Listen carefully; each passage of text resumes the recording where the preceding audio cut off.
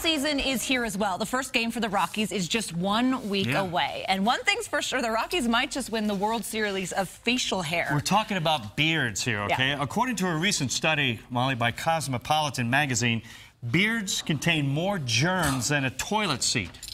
It's a true story. I'm not making that up. so gross. Who Imagine how cares? they smell. I don't care. Seven Sports anchor Aaron Anderson tells us from spring training the Rockies have one of the best beards in the business. How's it going today, bud? The familiar faces are back.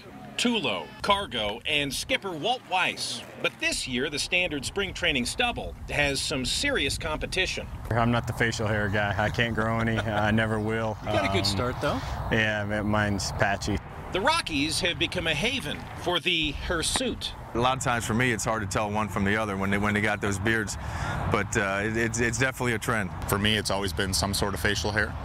Um, but also as a Canadian, I know that uh, flannel and beards have always been popular. This phenomenon is nothing new to baseball, but when Charlie Blackmon busted out his signature look, it grew on people. I didn't really set out to do to start anything. Uh, it was just uh, something I, I kind of started for fun, and, and then it, it turned out to be like a thing. Well, you know, it's such a clean look and it's spring training, so you got to let your hair down. Now they got like a T-shirt and stuff, so now I feel bad. Like I don't want to shave my beard, or these people's T-shirts aren't going to be any good. You owe it to them. I do.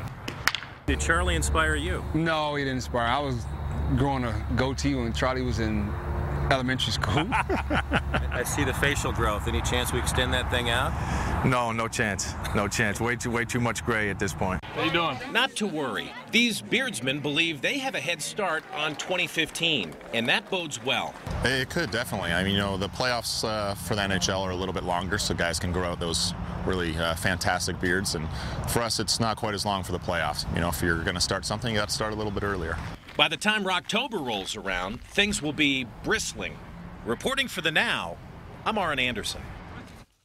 All right, all right. Now, look, some people are legitimately afraid of, of beards. Molly, what do you think of this one? I can understand why, seeing him in that. You are scary. Look, it's called pag- pagonophobia.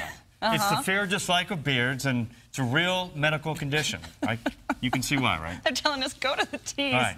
Go we have a the lot to get to here on the Now.